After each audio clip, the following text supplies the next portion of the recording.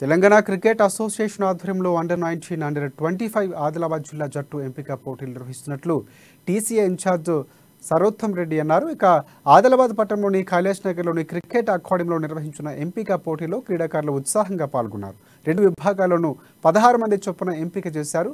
పదేండ్లుగా బీసీసీఐతో సుప్రీంకోర్టులో Telangana cricket association తరపున పోరాటం చేస్తున్నామని తెలిపారు. ఈ ఏడాది అనుకూలంగా తీర్పు వస్తుందని ఆశిస్తున్నామని తెలిపారు. ఆర్థికపరమైన ఇబ్బందుల కారణంగా రాష్ట్ర స్థాయిలో పిల్లలు ఆడలేకపోతున్నారని అన్నారు. ప్రతి పేద క్రీడాకారుడు స్టేట్ రేంజ్ ట్రోఫీలో ఒక ఆడటమే లక్ష్యంగా తెలంగాణ క్రికెట్ అసోసియేషన్ కృషి చేస్తుందని తెలిపారు.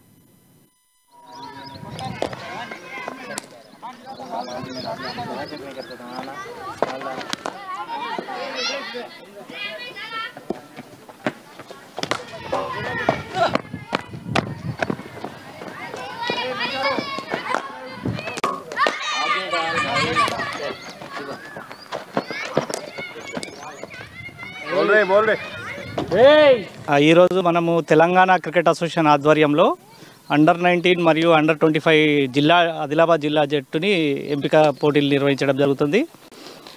మీరు చూస్తున్నారు చాలామంది పిల్లలు ఇంట్రెస్ట్గా వచ్చి పార్టిసిపేట్ చేస్తున్నారు. మనం గత పది సంవత్సరాల నుంచి బీసీఐతోని సుప్రీంకోర్టులో తెలంగాణ క్రికెట్ అసోసియేషన్ గురించి ఫైట్ చేస్తున్నాం. మోస్ట్ ప్రాబబ్లీ ఈ ఇయర్ మనకు మన ఫేవర్లో వచ్చి అఫిలియేషన్ బీసీఐ ఇస్తుందని అనుకుంటున్నాం. అది వస్తే చాలామంది పిల్లల లైఫ్ అవుతుంది. హైదరాబాద్ క్రికెట్ అసోసియేషన్లో మనం డబ్బులు లేకుంటే ఆడలేకపోతున్నాం. ఇరవై లక్షలు ముప్పై లక్షలు ఇచ్చిన వాళ్ళనే స్టేట్ టీంకు సెలెక్ట్ చేస్తున్నారు.